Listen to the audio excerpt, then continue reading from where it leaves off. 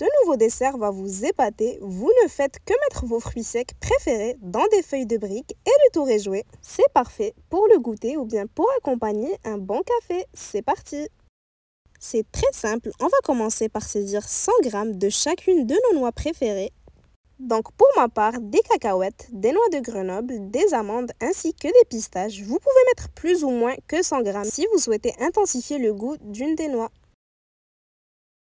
C'est parti, on va bien mixer le tout ensemble.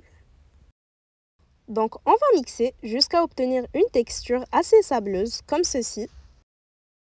Quand c'est fait, on va transférer nos fruits secs dans un bol. On va y ajouter le zeste d'un citron. Donc c'est une recette qui ressemble beaucoup au baklava, mais ce n'est pas exactement pareil, je vais vous laisser la découvrir. Ensuite, on ajoute 2 cuillères à soupe de fleurs d'oranger, on mélange bien. On ajoute également 200 g de lait concentré sucré, c'est ce qui va apporter toute la gourmandise. On va bien mélanger jusqu'à obtenir une préparation bien homogène. Vous allez voir, la texture va devenir un peu pâteuse.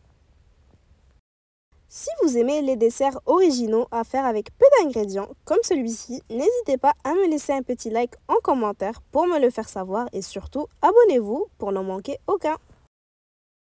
On humidifie ses mains avec de la fleur d'oranger. Donc de 1, ça va permettre à la pâte de ne pas coller. Et de 2, ça va apporter de la saveur. On saisit des bouts de pâte de cette taille, puis on va les étaler de sorte à former des boudins comme ceci. Une fois que c'est fait, on les réserve sur du papier cuisson. Donc on refait la même chose jusqu'à épuisement de la pâte. Au total, ça m'a donné 10 boudins. On n'hésite pas aussi à venir humidifier ses mains avec la fleur d'oranger régulièrement. Ensuite, je saisis mes feuilles de briques, donc j'en ai utilisé 10 pour cette recette. Si vous en utilisez des plus grands, vous pouvez en prendre 5 que vous coupez en deux. On va se munir de 60 g de beurre fondu. Les feuilles de briques, une fois qu'on les a sorties du frais, on les réserve dans un torchon propre, humidifié à l'eau froide pour éviter qu'elles ne s'assèchent et qu'elles ne cassent. Je prends une première feuille que je viens badigeonner de partout avec le beurre fondu. J'y place un boudin. J'enroule en serrant bien comme ceci. Je mets du beurre sur le bout pour bien refermer la feuille. Une fois refermée, je pose les rouleaux sur la face où il y a l'ouverture, comme vous voyez, pour éviter qu'elle ne s'ouvre. Je fais de même avec tous mes boudins. Donc au total, ça m'a donné 10 grands rouleaux que je vais venir couper en petits morceaux par la suite. N'hésitez pas à en faire plus ou moins selon vos besoins.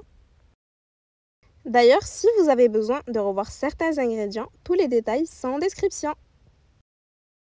J'ai placé mes rouleaux sur une plaque de cuisson recouverte de papier sulfurisé, donc toujours sur la face où il y a l'ouverture.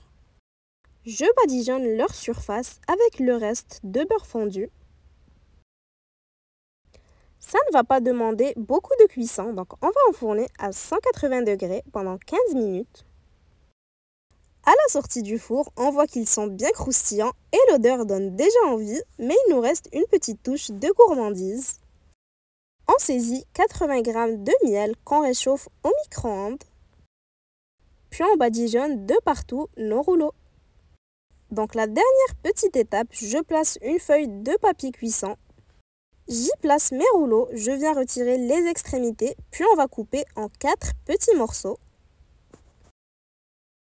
Donc au total, ça va nous donner 40 petits morceaux. Et voilà, notre petite gourmandise est déjà prête. C'est toujours bon d'en avoir chez soi. Tout le monde va se régaler. J'espère que la recette vous aura plu. Si c'est le cas, n'hésitez pas à la liker et à la partager avec vos proches. Et à bientôt pour de nouvelles inspirations.